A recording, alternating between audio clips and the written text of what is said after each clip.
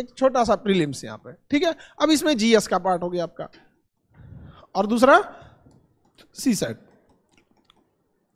अस्सी क्वेश्चन? इसमें सौ क्वेश्चन। ठीक है? इसके कितने मार्क्स? 200 इसके 200 क्योंकि इसमें ढाई नंबर मिलते हैं, इसमें दो नंबर। तो नंबर्स को हम नहीं क्वेश्चन पे जाते हैं। आप बताइए, इसमें कितने क्वेश्चन पे पास हो जाते हैं? अब सत्ताईस क्वेश्चन क्वालिफाइंग है। इसका नंबर तो ऐड होना नहीं है। ऐड होता है? नहीं। अब सोचिए, सत्ताईस क्वेश्चन नहीं हो रहा है आजकल के लड़कों से। सत्ताईस क्वेश्चन हम पहले पीटी की बात कर रहे हैं, सबसे ज़्यादा फेल यही करता है। किसी भी चीज़ का सबसे ज़्यादा फेल यही करता है। इसके एक रीजन है। आप ऐसे सोच के देखिए। प्रीलिम्स में अगर आपको कोई एक क्वेश्चन आ रहे हैं सपोज़ हम जीएस की बात कर रहे हैं तो वो आएगा तो आप बनाएँगे तो उसमें दो में दो मिल जाएगा। एक क्वेश्चन सॉल्व किया, आपको कितना नंबर मिल गया? दो नंबर मेन नहीं आया तो? दोनों गया।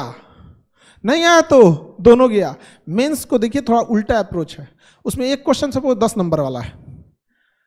क्या आपको लगता है कि जो लड़का पीटी पास किया होगा, वो दस लड़के दस नंबर का आंसर को अटेम्प्ट करेगा तो उसको दो तीन नंबर नहीं मिलेगा? मिलेगा यहाँ पे। तो वहाँ आपको एकदम ज़ीरो की संभावना नहीं है। आप समझ रहे हैं चीज़ों को? वहाँ एकदम ज़ीरो की संभावना नहीं है। बस आपको लेखन शैली आना चाहिए वहाँ। उसके अप्रोच अलग है और इसका अप्रोच अलग है। तो यहाँ जो भी सौतेला व्यवहार करेगा सी सेट से, वो भी आपको क्या कर देगा? सौतेला। आपको यहाँ सी सेट में तीन स्टेप देखने को मिले। एक का का क्लास चलेगा, वो अलग। प्रैक्टिस होगा, वो अलग। और टेस्ट होगा, अलग। टेस्ट में हम बन जाएँगे आपके दुश्मन। ठीक है? जब क्लासेस चलेंगे एकदम बाबू की तरह, तुम दो बार पूछ लो, तीन बार पूछ लो, मन करे तो टीचर्स रूम में जाके दोबारा पूछ लो। प्रैक्टिस चलेगा तो एक आध बार बस डाउट की तरह पूछ सकते हो और टेस्ट में पूछ दियो तो पिटा जाओगे वहीं पे। तुम टेस्ट में एकदम दुश्मन एकदम। तो उसके लिए सबसे और कई लड़कों का लगता है कि, सर, ये इसमें कट ऑफ़ चले जाएगा। कई इसमें 200 में ना 110 ले आने वाले बैठे हैं, सर। 120 ले आ देते हैं एक सौ पंद्रह, एक सौ इसे ले आ देंगे। उनसे डरिएगा नहीं। जानते हैं क्यों? डूबेगा इसमें वो। तो जो कट ऑफ़ बढ़ाने वाले लोग हैं ना, समझिए, जो प्रीलिम्स का कट ऑफ़ बढ़ाने वाले बूढ़े बूढ़े लोग हैं, आखिरी अटेम्प्ट वाले, जो इसमें 200 में ले आएँगे से 126 नंबर 125 नंबर वो कहाँ डूब जाएँगे? सी सेट में। इसलिए आप इधर गौर किए होंगे ना कि कट ऑफ़ ज़्यादा नहीं जा रहा है।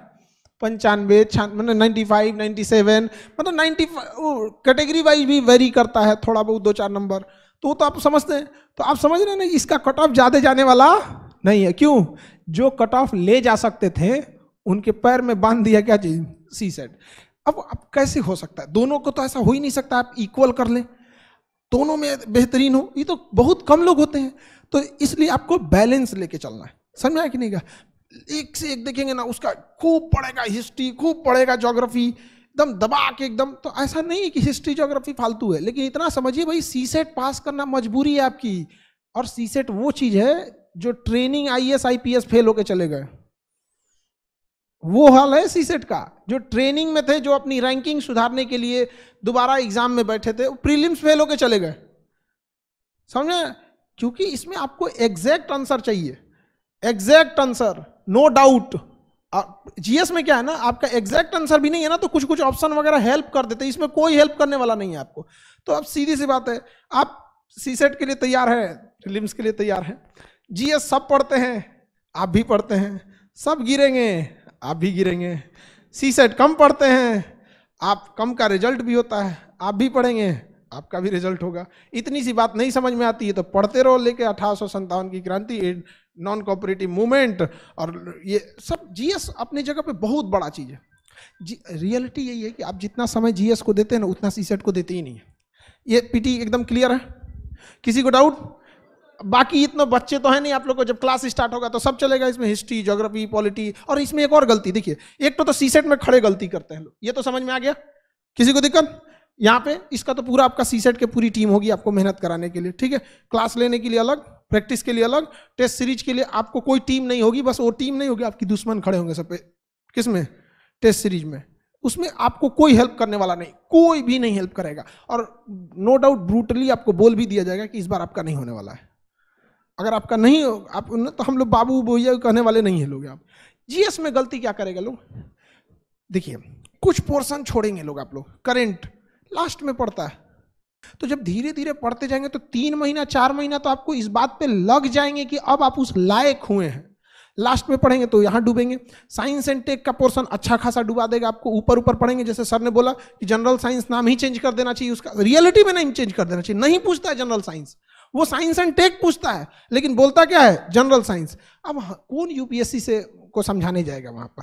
उस मान के बैठा है कि हम, टीचरें लोग से कंपटीशन में बैठा है वो। अब तो ऐसा लगता है ना टीचर से कंपटीशन में बैठा है। और पीटी में क्या है कि आपका जो पोर्शन अच्छा लगेगा ना, आप उसमें बहुत टाइम देते हैं।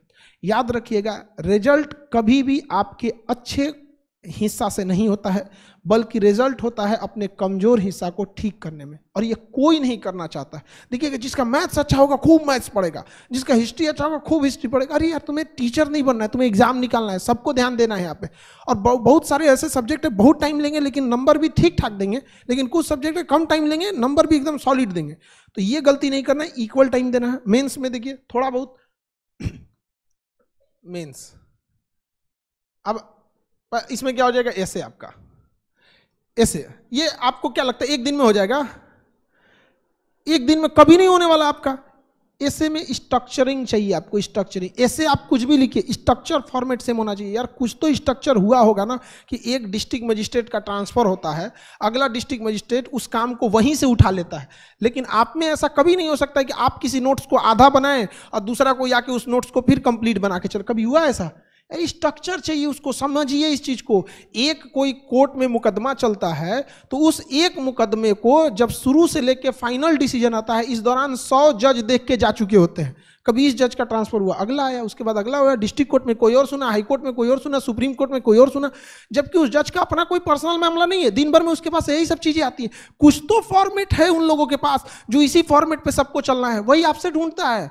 लेकिन आपको लगता है कि नहीं ऐसे में केवल नॉलेज चाहिए। नॉलेज के साथ साथ आपको क्या चाहिए? फॉर्मेट चाहिए आपको। आपके पास वो फॉर्मेट होना चाहिए। डे वन में जैसे ही स्टार्ट होगा फ़र्स्ट वीक में ही आपको दो क्लास ले लिया जाएगा कि फॉर्मेटिंग का। ताकि जब आप न्यूज़ पढ़ें या कुछ भी करें डे वन से लिखना चालू करें धीरे धीरे फॉर्मेट का। समझ में आ रहा है कि नहीं आ रहा है यहाँ पे? ढाई सौ नंबर दे देता है। कितना नंबर अच्छा खासा नंबर दे देता है। और आपने ईमानदारी से बता के देखिए, कितना टाइम देते हैं लोग। बहुत कम। ईमानदारी से देखिए, और वो लड़के कहते हैं कि हम यूपीएससी की तैयारी कर रहे हैं। यार, तुम्हें खुद नहीं पता है कि कौन सा सब्जेक्ट पे कितना टाइम देना चाहिए। ढाई सौ नंबर का मार्क्स है लास्ट में देता, कहता, ऐसे भी करना है। अरे यार, तुम्हें तो स्टार्टिंग से होना चाहिए। लेकिन आप भी देखिएगा यूपीएससी के लड़कों की खराबी, वो हिस्ट्री जोग्राफी पॉलिटी इकोनॉमिक्स कोई से सब्जेक्ट मानता है। मेन सब्जेक्ट यही मानता है उसको हिस्ट्री जोग्राफी पॉलिटी इकोनॉमिक्स जबकि ढाई सौ नंबर ऐसे दिया। भूल गए वहाँ पे। हज़ार नंबर का आपका GS G S one two three four ऐसे सेम टू यू कर देते ये सब कितने का है? ढाई ढाई सौ का ऐसे कर देते हैं सेम टू यू कौन लिखेगा इतना?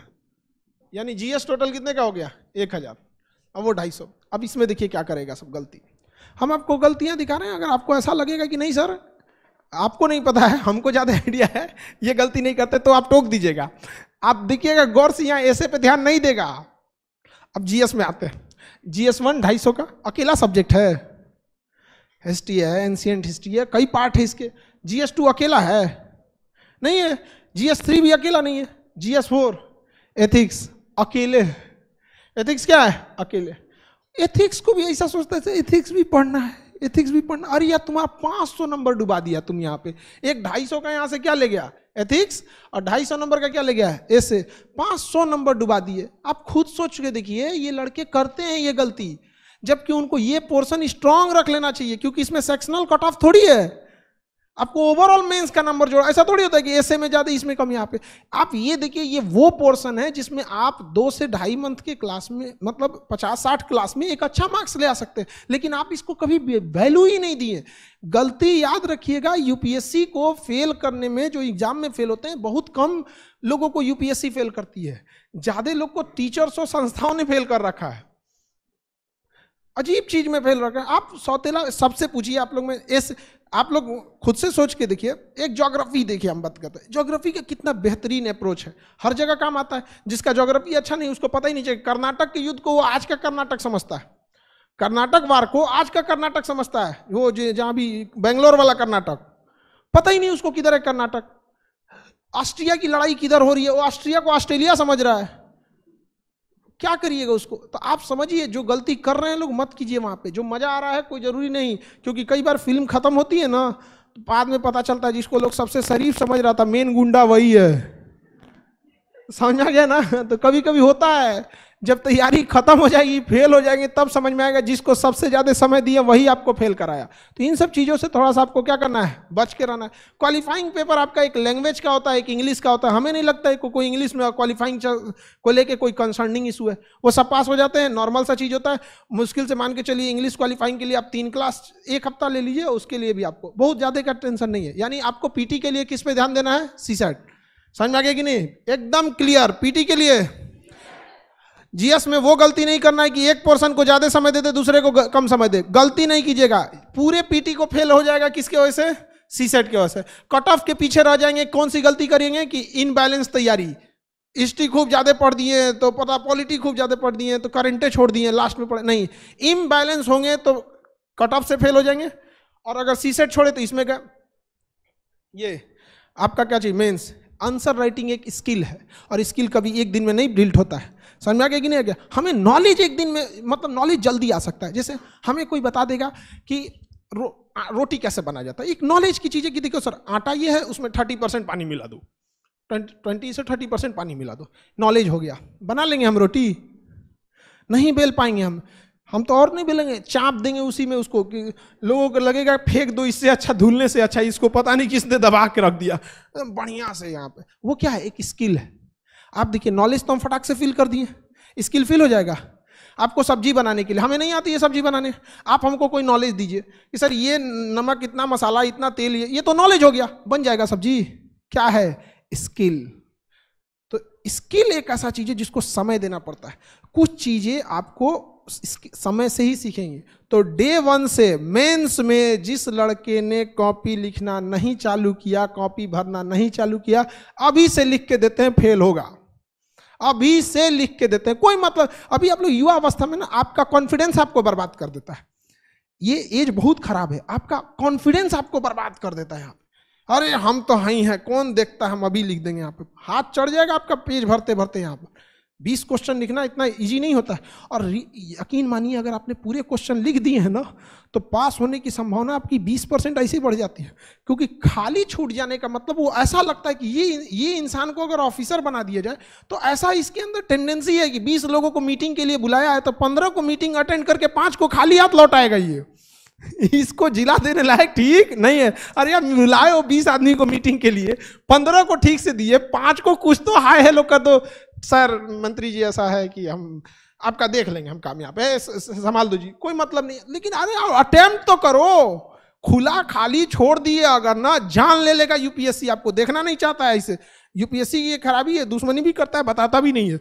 कहता भी नहीं है कि खाली छोड़ना हमको पसंद नहीं है। अब बताओ, कैसे लिखोगे? बीस क्वेश्चन लिख देना, खिलवाड़ है। नहीं ना? तो स्किल्ड है ये। क्या है? स्किल आपका मेंस एग्ज़ाम आने से पहले आपकी राइटिंग स्किल अगर क्लियर हो गई तो मेन प्रीटी और मेंस के बीच में इतना टाइम देता है कि आप नॉलेज भर सकते हैं। समझ में आ गया कि नहीं आ गया? नॉलेज भर सकते हैं कि नहीं भर सकते? खाना बनाने वाले को एक नया कोई डिश बनाने को दीजिए ना, दो दिन में बना देगा। और हम लोग दो दिन में तो आटे सानना सीख जाएँगे। खैर, सानना तो ईजी चीज़ होता है, बनाना तो टफ होता है। तो समझ में आ रहा है कि नहीं? सिंपल सिंपल गलती। कौन लड़का ये गलती नहीं करता है। कोई ज़्यादा रॉकेट साइंस नहीं है इसमें, समझिए। कट ऑफ़ प्रीलिम्स की बात करें तो कट ऑफ़ छूटेंगे आप जीएस खराब होगा, इसी वजह से इन बैलेंस फोकस किए हैं, किसी पे ज़्यादा, किसी पे कम। पूरी तरह से फेंका के जाएँगे फेल होंगे, क्योंकि सी सेट पे ध्यान नहीं दिए हैं। मेंस पे आ जाते हैं डे वन से राइटिंग स्किल नहीं है, खत्म हो जाएँगे, डूब जाएँगे। ऐसे के साथ सौतेला व्यवहार किए हैं, इसको तो बाद में पढ़ेंगे। निबंध के साथ सौतेला व्यवहार किए, इसको एथिक्स के साथ किसको तो बाद में पढ़ेंगे। गया आपका काम से खत्म। अब आप तैयारी कीजिए अपने घर वालों को ये बताने के लिए कि मैं इसमें ठीक गया था, तब ये ठीक नहीं थी। चार पाँच नंबर से पीछे रह गए हैं। यहाँ पे वही बात इंटरव्यू की तो उसके लिए टेंशन नहीं लीजिए। वो एक आर्ट है, किस तरह से आप आते हैं जैसे हम लोग, अभी हम किसी लड़के को यहाँ बुला दें मंच पे तो उसको थोड़ा हेजिटेशन हो जाने लगेगा। तो बस एक यही चीज़ों को क्या करना है? दूर करना है। बहुत सारे लड़कों को दूर करना। जैसे हम पटना में थे तो एक बीपीएससी की एक कोई लड़की थी, बहुत मतलब पढ़ने में ठीक ठाक थी। एक साल की तैयारी करी होगी। पटना तो एक तरह का दिल्ली तो है नहीं यहाँ पे। अब उसको ना बड़ा रिज़ल्ट देने में दिक्कत इंटरव्यू में उसको हेजिटेशन खत्म ही नहीं है उसके पास हेजिटेशन यहाँ पे। अजीब टाइप का, एकदम हिचकिचाने लगी थी, दरवाज़ा खोलने टाइम पे अजीब टाइप का। तो क्या आके पास हो गई फाइनली वो पास हो गई। रीजन क्या है उसको कई बार आदमी प्रैक्टिस किया। बिना मतलब कभी बैंक के पास भेज दिया कि ले जाओ, ये लोन अर्जी लगा के चलो आप बैंक मैनेजर के पास। बिना मतलब का, उसको ना लोन मिलने वाला ही नहीं था। लेकिन एक हेजिटेशन तो दूर हो, हमें पता था कि लोन नहीं मिलने वाला उसको। बिना मतलब का किसी कंपनी में भेज दिए, कोई में मतलब कोई बड़े प्राइवेट कंपनी में कि हमें जॉब ऑफ़र चाहिए अब। अरे, हमें नहीं मतलब है तुमको वहाँ ना एल ना तुम्हें लोन लेना है, ना तुम्हें वहाँ कंपनी में जॉब करना है बट एटलीस्ट एक इंट्रैक्शन का जो तरीका होगा, आठ बार, दस बार ऐसे ही बोला गया वहाँ पे, उसके बाद उसको थोड़ा इंप्रूवमेंट हुआ, बाकी जाके सही हो गया। सामने वाला को भी समझ में आता है कि इसको केवल यहाँ से नहीं, इसके बाद इसको ट्रेनिंग होगी प्रोवेशन होगा, फिर इसको फाइनल सिलेक्शन दिया जाएगा। इंटरव्यू बहुत बड़ी बाधा नहीं बनती है। डे वन से लिखना है या नहीं लिखना है? समझ में आ गया कि नहीं आ गया? और कोशिश कीजिए जब आप विचारों को भी लाए, ना तो सिस्टमेटिक ढंग से लाएँ। बात भी करें ना तो एक सिस्टमेटिक ढंग से लिखने के लिए आप कुछ भी नहीं आ रहा है शुरुआत में तो आज की दिनचर्या लिख दीजिए, आपने क्या किया क्या किया, धीरे धीरे धीरे धीरे करके एक समय आएगा, आप सही हो जाइएगा आपको। आप जैसे लड़की लोग, आप ही लोग से कहते हैं, हमें रोटी बनाने कैसे आएगा? या हम किसी से पूछते हैं, हमें तैरना कैसे आएगा? अरे यार, रोटी बनाने के लिए बेलना पड़ेगा दो बार। तैरने के लिए हमको पानी में उतरना पड़ेगा तो लिखने के लिए हमें लिखना पड़ेगा। इतना भी समझ में नहीं आता है तो सपने देखना छोड़ दो। समझ में आ गया? कोई बात? कोई दिक्कत कोई डाउट